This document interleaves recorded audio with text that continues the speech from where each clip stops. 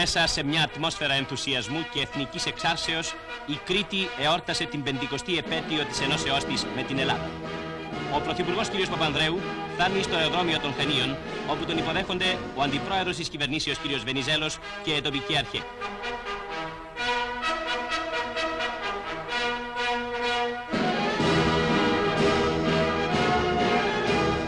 Αργότερον, μετά των Υπουργών Οικονομικών κ. Μητσοτάκη και Εσωτερικών κ. Κωστοπούλου, υποδέχονται τον Βασιλέα Παύλων και τον Διάδοχον Κωνσταντίνων.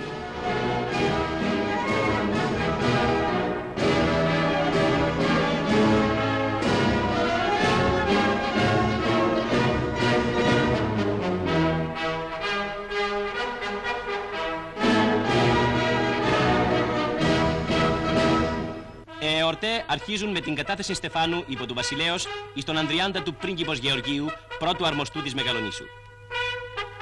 Ύστερα από τη συγκινητική τελετή της υψώσεως της σημαίας εις το ιστορικό φρούριο του Φυρκά, ακολουθεί πρώτου Βασιλέως και των επισήμων η παρέλαση των μονάδων στρατού, ναυτικού και αεροπορίας.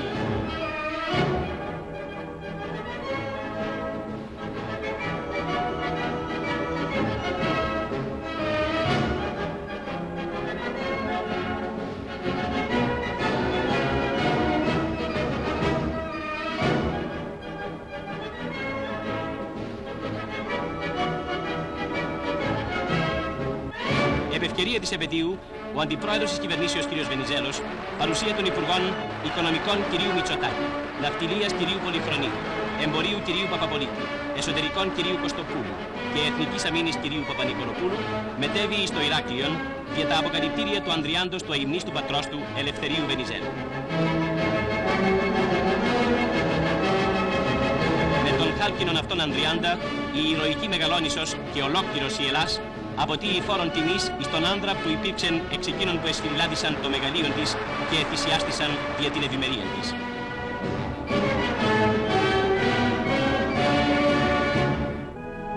Με θρησκευτική κατάνοιξη και ιδιαίτερα μεγαλοπρέπειαν, ο λαός των πατρών ετίμησε την εορτή του πολιούχου της πόλεως Αγίου Ανδρέου.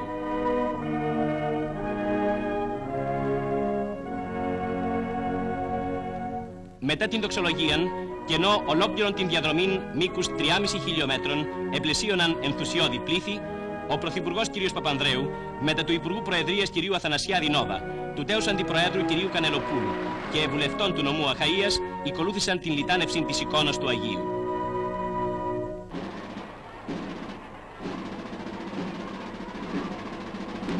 Σκεπασμένο με την αστερόεσα, το θέρετρο του John Fitzgerald Kennedy 35ου Προέδρου των Ηνωμένων Πολιτειών μεταφέρεται εις τον καθεδρικό ναό του Σεν Μάθιους για να εκτεθεί σε παλαϊκό προσκύνημα.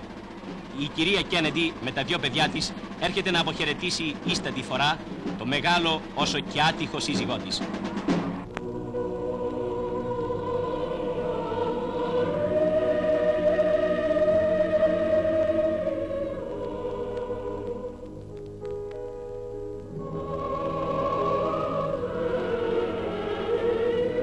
Από τους μονάρχας και πολιτικούς ηγέτας παρίστανται η Βασίλισσα Φρυδερίκη, ο Βασιλεύς Μποντουάν, ο πρόεδρος Ντεγκόλ, ο Χαϊλές Σελασιέ, ο καγκελάριος Έρχαρτ, ο Αναστάς Μικογιάν, ο Έλλην Υπουργός Εξωτερικών κ. Βενιζέλος και πολλοί άλλοι.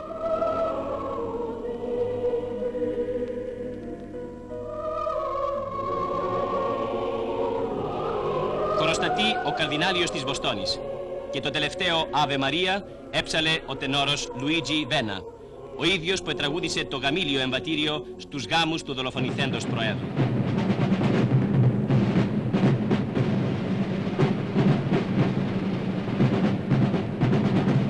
Ενώ το θέρετρον τοποθετείται επί του κυλίβαντος, ο τριετής γιος του Προέδρου αποχαιρετά στρατιωτικά χωρίς να μπορεί να συγκρατήσει ένα δάκρυ που θα συνοδέψει τον πατέρα του ως την τελευταία του κατοικία, το νεκροταφείο του Άρλινγκτον, όπου ο πρόεδρος θα αναπαυθεί πλάι στον τάφο του Άμπρααμ Λίνκον.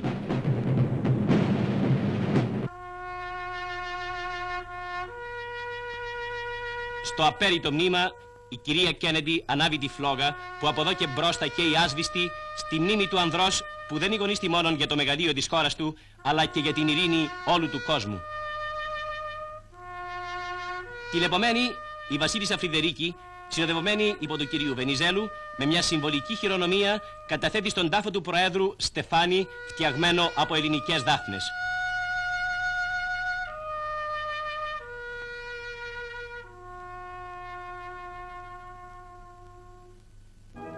Την ίδια στιγμή, στη Μητρόπολη των Αθηνών, με αισθήματα που συμμερίζεται ολόκληρος ο ελληνικός λαός, ο βασιλεύς Παύλος, ο πρωθυπουργός κ. Παπανδρέου, τα μέλη του Υπουργικού Συμβουλίου και άλλοι επίσημοι παρίστανται εις την επιμνημόσυνον δέησιν, η οποία ψάλεται εις μνήμην του μεγάλου φίλου της Ελλάδος.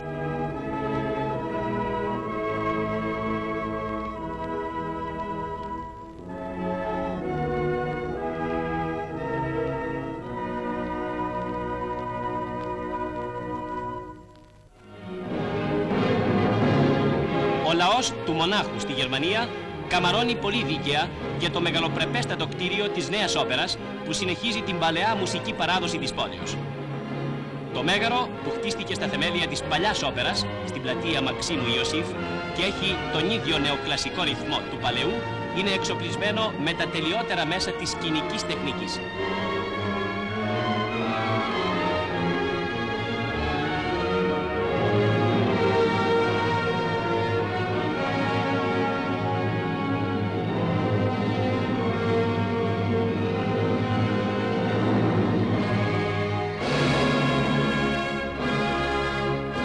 Πρεμιέρα του παρευρέθησαν 2.000 θεατέ, μεταξύ των οποίων η αρχαία της πόλεως, η Μπεγκούμ, η Σοράγια με το Μαξιμιλιανό Σέλ και πολλοί άλλοι.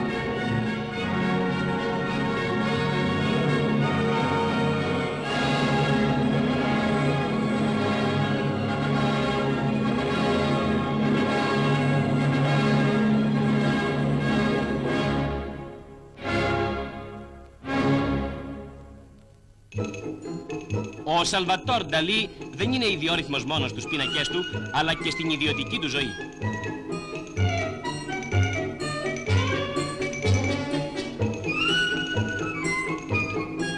Κάποιος του χάρισε ένα παιχνιδάκι σε στήλα ατόμιου. Τι να το κάνω, λέει ο Νταλή, να σκαρώσω κανένα πύραυλο, συνηθισμένα πράγματα. Στάσου και θα δεις. Με δύο-τρεις πινελιές και κάμποση πρωτοτυπία, ο Μέγας και Πολύς Νταλή σας κατασκευάζει ένα πορτρέτο ατομικό, που δεν μπορείτε παρά να το θαυμάσετε. Το μπαλέτο που βλέπετε από τις συνδές αυτές χορεύτριες διηγείται με το δικό του τρόπο έναν Ινδικό κλασικό θρύλο. Χρηματοδοτείται από ένα φιλανθρωπικό σύλλογο της Ινδίας και θεωρείται μοναδικό στο χορό και στο κολύμπι φυσικά.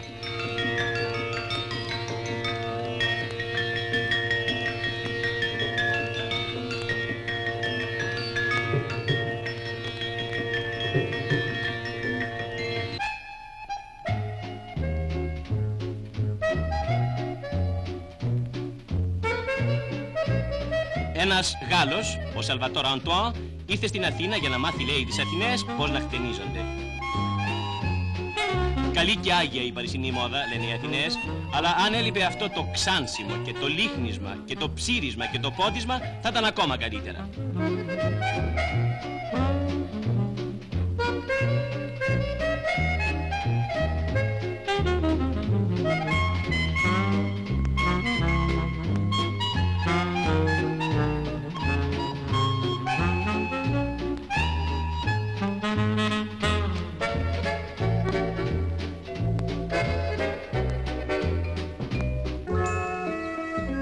Να και μια μόδα που η μόδα της δεν περνά και ούτε ποτέ θα παλιώσει. Με πέπλο ή με βέλο, με άνθη λεμονιάς ή όχι, με διάδημα ή χωρίς, ένα νηφικό δεν θα πάψει ποτέ να είναι το όνειρο κάθε κοπέλας σε κάθε εποχή.